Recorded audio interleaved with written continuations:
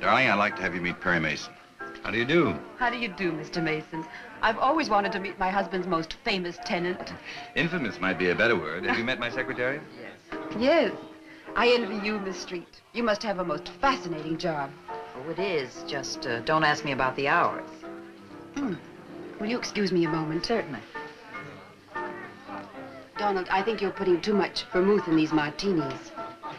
The other Mrs. Brent always preferred serving her martinis a little on the sweet side. How delightfully old-fashioned. Will you please make up a fresh batch? I do hope you're not annoyed with me. No, I'm not annoyed, Mrs. Brent. Besides, what difference does it make? I'm just your husband's secretary. That's no way to talk, ain't it? Why, Stewart does nothing but rave about you. You won't blame me if I'm a little bit jealous. Why don't we sit down and have a little chat? Well, what about your other guests? Oh, pooh on my other guests. I'd much sooner get to know you.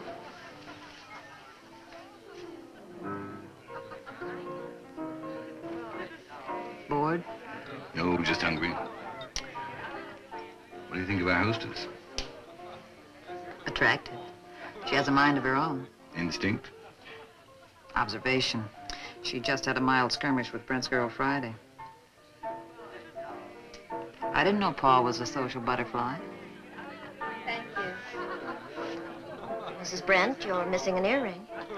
I know. I left it in the music room. How very observant of you.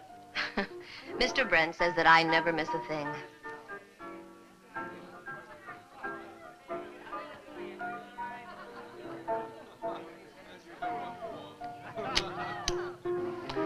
Maybe he's minding the silver.